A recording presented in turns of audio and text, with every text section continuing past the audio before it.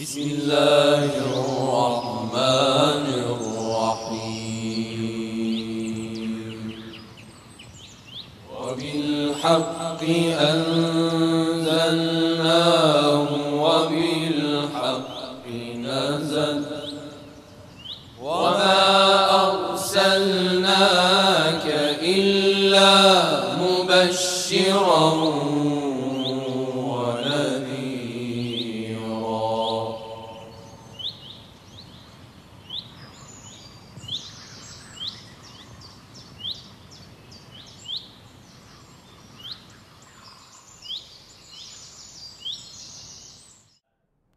بسم الله الرحمن الرحيم الحمد لله رب العالمين والصلاة والسلام على سيدنا محمد وعلى آله الطيبين الطاهرين وأصحابهم المطيعين இவ்வுலகத்தை படைத்து பரிபாலித்துக் கொண்டிருக்கின்ற எல்லாம் வல்ல அல்லாஹுக்கு எல்லா புகழும் அல்ஹம்துலில்லா இறுதி தூதர் முஹம்மது நபி ஸல்லல்லாஹு அலைஹி வாலிஹி வஸல்லம் அவர்கள் மீதும் அன்னாரின் பரிசுத்த குடும்பத்தினர்கள் அவர்களை பின்பற்றி வந்த உத்தம சஹாபாக்கள்கள் மீதும் என்றென்றும் சலாத்தும் சலாமும் உண்டாவதாக. என் அன்புக்குரிய இஸ்லாமிய சகோதர சகோதரிகளுக்கு இஸ்லாத்தின் காணிக்கையான இனிய சலாத்தை ஏற்றி வைப்பதில் மிக மகிழ்ச்சி அடைகின்றேன். அஸ்ஸலாமு அலைக்கும் வரஹ்மத்துல்லாஹி தலா வபரகாத்துஹு. நாங்கள் நாளாந்த இமாமி அக்கிதா மஜ்லிஸில் நுபுவத்துவத்தை பற்றி நாங்கள் ஆய்வு செய்து கொண்டு வருகின்றோம். முன் சென்ற இமாமி அக்கிதா மஜ்லிஸில் ஒரு நபியை ஒரு ரசூலை மக்களுக்கு வழிகாட்டுவதற்காக வேண்டி அனுப்புவது அல்லாஹின் மீது கடமையான ஒரு விடயமாக இருந்து கொண்டிருக்கின்றது என்பதனை ஆய்வு செய்வதோடு இந்த கடமை என்ற சொல் இறையியல் ரீதியாக பேசப்படுகின்ற ஒரு கடமையாக இருந்து கொண்டிருக்கின்றது என்பதனையும் நாங்கள் வலியுறுத்தியிருக்கின்றோம். அடுத்ததாக நாங்கள் பார்ப்போம் என்று சொன்னால் இவ்வாறு அல்லாஹுக்கு சுபஹானா உத்தாலா அனுப்புவது கடமை என்று நாங்கள் பகுத்தறிவு மூலமாக இறையியல் அறிஞர்களுடைய ஆதாரங்கள் தத்துவியல் அறிஞர்களுடைய ஆதாரங்கள் என்று நாங்கள் எவ்வாறு நாங்கள் நிரூபித்தாலும் சிறர்கள் வாதாடக்கூடிய ஒன்றாகவே இருந்து கொண்டிருக்கின்றது. பேசத் என்பது தேவையற்ற ஒன்றாகவே இருந்து கொண்டிருக்கின்றது என்பதனுடைய என்று கூறக்கூடிய நிராகரிக்கக்கூடிய ஒரு ஆதாரங்களை நாங்கள் பலகீனப்படுத்த அதற்குரிய விடையை நாங்கள் முன் சென்ற இமாமி அக்கிதா மஜ்லிஸில் நாங்கள் நிரூபித்து காட்டியிருக்கின்றோம் தெளிவுபடுத்தியிருக்கின்றோம். இன்றைய இமாமி அக்கிதா மஜிலிஸில் அல்லாஹுக்கு சுபஹானவத்தால ஒரு நபியை மக்களுக்கு அனுப்பு மக்களுக்கு வழிகாட்டுவதற்காக வேண்டி அனுப்புவது கட்டாய கடமை என்று நாங்கள் அந்த ஹெக்குமத் என்ற சொல்லின் மூலமாக கடமை என்று நாங்கள் நிரூபித்து காட்டியிருக்கின்றோம். எனவே அந்த ஹெக்மத் எங்களுக்கு சொல்லித் தருகின்ற ஒன்றுதான். அல்லாஹுடைய அந்த ஹெக்மத்தை அல்லாஹுக்கு தலா ஆதிலாக இருந்து கொண்டிருக்கின்றான். அல்லாஹ் ஹக்கீமாக இருந்து கொண்டிருக்கின்றான் என்ற அந்த இரண்டு சொற்களையும் நாங்கள் பார்க்கின்ற பொழுது எங்களுக்கு தெளிவாகின்ற ஒன்றுதான். அந்த நபியை அல்லாஹ் எவ்வாறு அனுப்புகின்றானோ அதே போன்ற அந்த நபியை எவ்வாறு நாங்கள் அறிய வேண்டும்? இவர் உண்மையான நபி தான் என்று அறிவதற்குரிய அந்த வழிகள் என்ன என்பதையும் அல்லாஹ் எங்களுக்கு சொல்லித்தர வேண்டும். என்பது எங்களுக்கு எங்களுடைய பகுத்தறிவு சொல்லக்கூடிய ஒன்றாக இருந்து கொண்டிருக்கின்றது. ஏனென்று சொன்னால் இந்த யாரெல்லாம் நான் தான் நபி என்று கூறுகின்றார்களோ அவரை நாங்கள் பின்பற்ற போவோம் என்று சொன்னால் அவர் ஒரு பொய்யான ஒரு நபியாக இருப்பார் என்று சொன்னால் அல்லாஹ் என்ன நோக்கத்துக்காக வேண்டி எங்களை படைத்திருக்கின்றானோ அந்த நோக்கம் வீணானதாக போய்விடுகின்றது. எனவே அல்லாஹ் ஹக்கீமாக இருக்கக்கூடியவன் அவனுடைய நோக்கம் நிச்சயமாக நிறைவேறியே தீரும். அல்லாஹ் என்னெல்லாம் நாடிருக்கின்றானோ அனைத்தும் நிறைவேறியேதான் ஆகும் எனவே இவ்வாறு நிறைவேற வேண்டும் என்று சொன்னால் இவர்தான் உண்மையான நபியாக இருந்து கொண்டிருக்கின்றார் என்று அறியக்கூடிய வழியை ஒரு முறை அல்லாஹுக்கு சுபஹானவத்தால எங்களுக்கு தந்திருக்க வேண்டும். எனவே இந்த வழிமுறைகளை எவ்வாறு அறிய வேண்டும் என்- என்கின்ற விடயத்தில் இறைகள் அறிஞர்கள் மூன்று விதமான வழிகளை அவர்கள் முன்வைத்திருக்கின்றார்கள். முதலாவது வழியாக அந் யார் நபியாக வருகின்றாரோ அவர் மோஜிசா உடையவராக இருக்க வேண்டும். என்று முதலாவது வழியை அவர்கள் சொல்கின்றார்கள். இன்றைய இமாமி அக்கீதா மஜ்லிஸில் இந்த மோஜிசா என்று சொன்னால் என்ன? இந்த மோஜிசா மூலமாக நபியை நாங்கள் அறிய முடியுமா என்பதனை நாங்கள் பார்ப்போம். முதலாவதாக மோஜிசா என்று சொல்லுகின்ற பொழுது புழக்க பாசையில் சொல்லக்கூடிய ஒரு வரைவிலக்கணம் தான் மூஜிசா என்று சொன்னால் வளமையை முறியடிக்கக்கூடிய ஒன்றாக இருக்க வேண்டும். இது முதலாவது நிபந்தனை. இரண்டாவது அல்லாஹின் புறத்திலிருந்து வந்த ஒன்றாக இருக்க வேண்டும். மூன்றாவதாக அதனை செய்யக்கூடிய ஒருவர் ஒரு நபியாக இருக்க வேண்டும். அடுத்ததாக யார் இதனை செல்கின்றாரோ அவர் நான் தான் நபி என்று வாதிடக்கூட உரியவராக இருக்க வேண்டும். அடுத்ததாக யாரெல்லாம் இந்த மோஜிசாவை செய்யக்கூடியவராக இருக்கின்றாரோ அவர் மற்றவர்களிடம் சொல்ல வேண்டும் உங்களால் முடிந்தால் இதனை நீங்கள் செய்யுங்கள் என்று சொல்ல வேண்டும். அடுத்ததாக யார் இந்த மோஜிசாவை செய்யக்கூடியவராக இருக்கின்றார்களோ யார் இந்த மோஜிசாவை செய்யக்கூடியவராக இருக்கின்றாரோ அவர் கூறுவதற்கு தொடர்புடைய ஒன்றாக இருக்க வேண்டும். அடுத்த ஒரு நிபந்தனையாக இந்த மோஜிசா என்பது கற்றுக் கொடுப்பதற்கோ அல்லது கற்பதற்கோ முடியாத ஒன்றாக இருப்பது இருக்க வேண்டும். அடுத்த ஒரு நிபந்தனை தான் இந்த மோஜிசா என்று சொல்லக்கூடியதுக்கு அடுத்த ஒரு நிபந்தனை தான் இந்த மோஜிசாவை வேறொருவரால் செய்ய முடியாமலும் இருக்க வேண்டும்.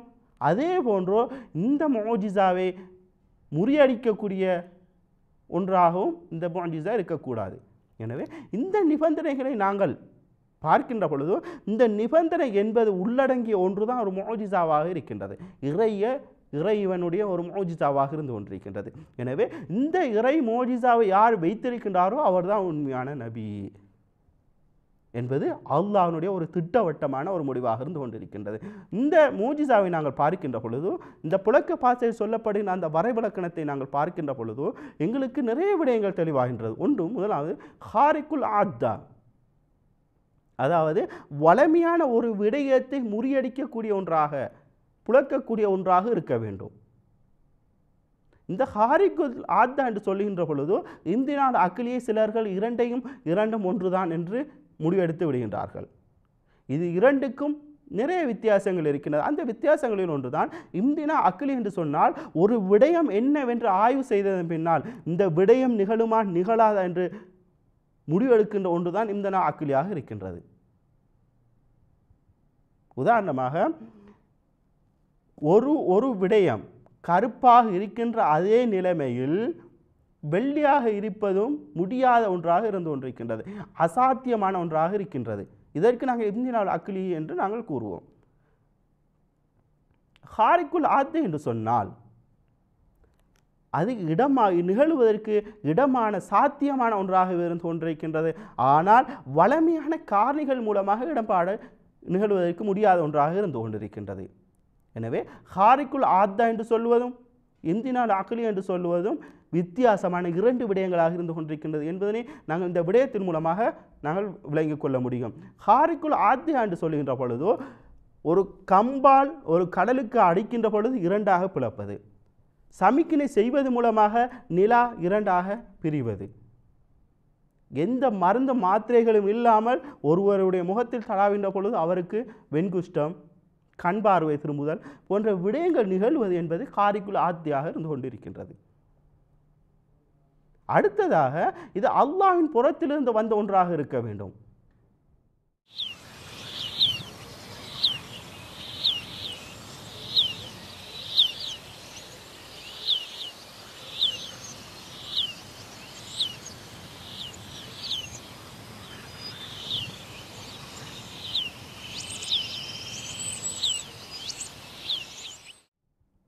அடுத்ததாக மூஜிசா என்று சொல்லுகின்ற பொழுது இந்த மூஜிசாவை செய்யக்கூடிய ஒருவர் நான் தான் நபி என்று வாதாடக்கூடிய ஒருவராக இருக்க வேண்டும். நான் தான் நபி என்ற மக்களுக்கு எற்றி வைக்கக்கூடிய ஒருவராக இருக்க வேண்டும். எனவே இந்த சொல் மூலமாக எங்களுக்கு விளங்குகின்ற ஒன்றுதான் அவுளியாக்கள் செய்யக்கூடிய அந்த கராமத் என்பது மூஜிசாவாக இருக்கின்றது. ஆனால் கராமத் என்ற பேருவையில் போர்வையில் இருக்கின்றது. எனவே அவுலியாக்களுடைய அந்த கராமத் மூஜிசா இல்லை என்பது எங்களுக்கு விளங்குகின்றது. அவர்கள் செய்யக்கூடிய அந்த அற்புதத்துக்கு நாங்கள் கராமத் என்று நாங்கள் பெயர் சூட்டுவோம். அடுத்ததாக தஹதி அவர்கள் செய்யக்கூடிய அந்த மூஜிசா என்பது உங்களால் முடிந்தால் நீங்கள் செய்து காட்டுங்கள் என்று சொல்லக்கூடியதாக இருக்க வேண்டும்.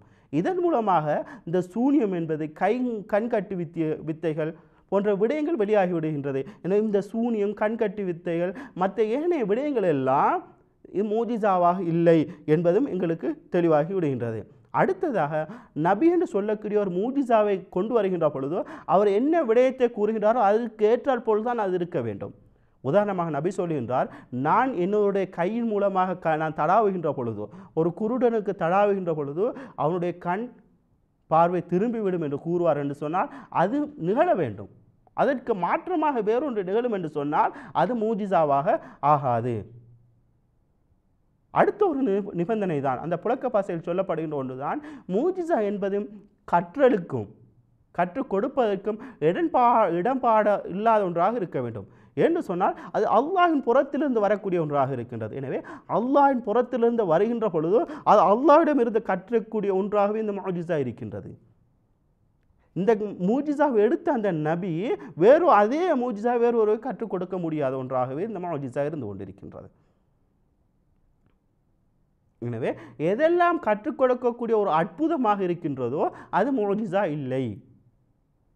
அடுத்த ஒரு கடைசி நிபந்தனையாக இருக்கக்கூடிய ஒன்றுதான் மூஜிசாவாக இருக்கக்கூடிய ஒன்றை யாராலும் முறியடிக்க முடியாத ஒன்றாக இருக்க வேண்டும். அதோடு இந்த மூஜிசாவை போன்று ஒருவரால் செய்ய முடியாத ஒன்றாக இருக்க வேண்டும். உதாரணமாக நாங்கள் பார்ப்போம் என்று சொன்னால் ஒரு சூனியம் செய்யக்கூடிய ஒருவன் ஒருவருக்கு தீங்காக ஒரு சூனியத்தை செய்கின்றான் என்று பார்க்கின்ற பொழுது இன்னொரு சூரியக்காரன் வருவான் என்று சொன்னால் சூரியக்காரன் வருவான் என்று சொன்னால் அவனோடு பெரிய ஒரு சக்தி வாய்ந்தவனாக இருப்பான்னு சொன்னால் அந்த சூரியத்தை முறியடிக்கக்கூடியவனாக மாறிவிடுகின்றான். அல்லது ஒரு கண்கட்டி வித்தையாளன் நாங்கள் பார்ப்போம் என்று சொன்னால் அவன் செய்வதை போன்று வேறொருத்தனால் அவன் செய்ய முடியும். என்றால் அவன் அந்த கண்கட்டி வித்தையை ஒருவனால் படிக்க முடியும் கற்க முடியும். எனவே மூஜிசா என்பது ஒரு நபி இவர்தான் உண்மையான நபி என்று அறியக்கூடிய ஒரு வழியாக இருந்து கொண்டிருக்கின்றது என்பதை அல்லாஹாக்கு சுபஹானவத்தால் இந்த மூஜிசா மூலமாக அல்லாஹ் எங்களுக்கு கட்டித்தந்திருக்கிறான் எனவே யாரெல்லாம் மூஜிசாவோடு வந்து நான் தான் நபி என்று சொல்லுகின்றார்களோ அவர்களை நாங்கள் ஏற்றுக்கொள்ளலாம் என்பதனை அல்லாஹாக்கு சுபஹானவத்தால் இந்த மூஜிசாவை கொடுப்பது மூலமாக எங்களுக்கு சொல்லி தரு தந்திருக்கின்றான். இந்த மூஜிசா என்று பார்க்கின்ற பொழுதும் நாங்கள் இந்த மூஜிசா அந்த அற்புதம் என்று பார்க்கின்ற பொழுது மூன்று விடயங்களை நாங்கள் பார்க்க முடியும். இறையியல் அறிஞர்கள் இறையியல் அறிஞர்கள் மூன்று விதமான ஒரு கலை சொற்களை வைத்திருக்கிறார்கள் மோஜிசா கராமத் இர்ஹாஸ். இந்த மூன்று சொற்களை வைத்திருக்கிறார்கள் மோஜிசா என்று சொன்னால் ஒருவர் நபியாக அனுப்பப்பட்டதன் பின்னால் செய்யக்கூடிய அந்த அற்புதத்துக்கு மோஜிசா என்று சொல்லப்படுகின்றது. இர்ஹாஸ் என்று சொன்னால் ஒருவர் நபியாக அனுப்பப்படுவதற்கு முன்னால் செய்யக்கூடிய அந்த அற்புதங்கள். உதாரணமாக இறுதித்துவர் முகமது நபி ஸல்லல்லாஹு அலை அலி வசல்லம் அவர்கள் பிறந்ததிலிருந்து நபியாக அனுப்பப்படுகின்ற வரைக்கும் நிகழ்ந்திருக்கின்ற அற்புதங்கள் அனைத்தும் மிருகாசாக இருந்து கொண்டிருக்கின்றது. கராமத்து என்று சொன்னால் அவுளியாக்கள் மூலமாக நிகழ்கின்ற அந்த அற்புதங்களுக்கு நாங்கள் கராமத் என்று சொல்லுவோம். எனவே கராமத் செய்யக்கூடிய ஒவ்வொருகளும் நபியாக இல்லை என்பதனை அவர்கள் ஏற்றுக்கொண்டே செய்து கொண்டிருக்கின்றார்கள். எனவே இந்த மூஜிசா என்பது ஒருவர் நபிதான். என்பதை நாங்கள் எவ்வாறு ஏற்றுக்கொள்ள முடியும் என்பது சிலருடைய ஒரு கேள்வியாக இருந்து கொண்டிருக்கின்றது. ஏன் என்று சொன்னால் நாங்கள் பார்க்கின்ற பொழுது எத்தனையோ பேர் சில எத்தனையோ விதமான அற்புதங்களை நிகழ்த்து கொண்டிருக்கின்றார்கள். இவர்கள் அனைவரும் நான் தான் நபி என்று கூறுகின்ற பொழுது நாங்கள் ஏற்றுக்கொள்வோம் என்று சொன்னால் அல்லாஹ்வுடைய அந்த நோக்கம் வீணானதாக போய்விடுகின்றது. எனவே மூஜிதா என்பது ஒ- கொண்டு வருகின்ற ஒவ்வொருவரும் நபிதான் என்று கூறுகின்ற பொழுது நாங்கள் ஏற்றுக்கொள்ளக்கூடாது என்பது சிலருடைய வாதமாக இருந்து கொண்டிருக்கின்றது.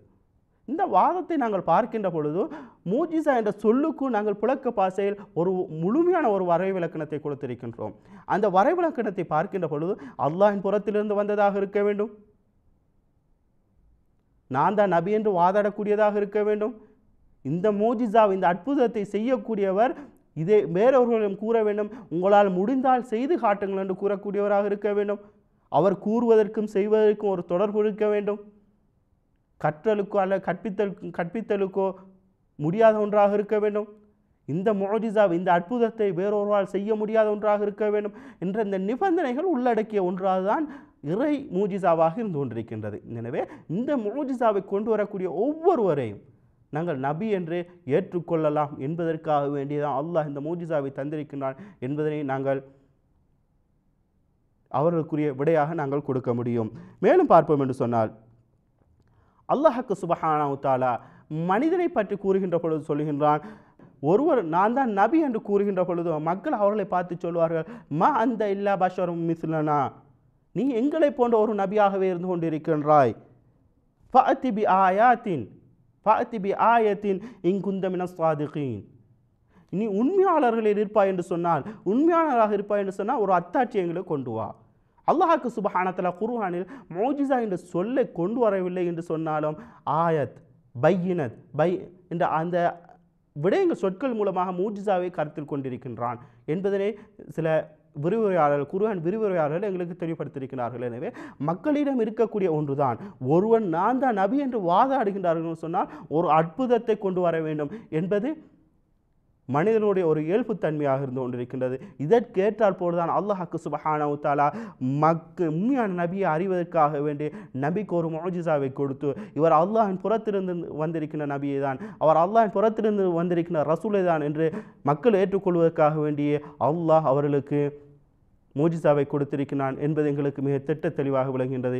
எனவே எல்லாம் அல்ல அல்லாஹை நாங்கள் முழுமையாக அறிந்து இறுதி தூது முஹம்மது நபி ஸல்லல்லாஹு அலைஹி வஆலிஹி வஸல்லம் அவர்களை ஒழுங்கான முறையில் பின்பற்றுவதற்கு எல்லாம் வல்ல அல்லாஹ் எங்களுக்கு அருள் செய்வானாக ஆமீன் ஆமீன் யா ரப்பல் ஆலமீன் அஸ்ஸலாமு அலைக்கும் வரஹ்மத்துல்லாஹி தஆலா வபரகாத்துஹு ربنا لا تؤاخذنا إن نسينا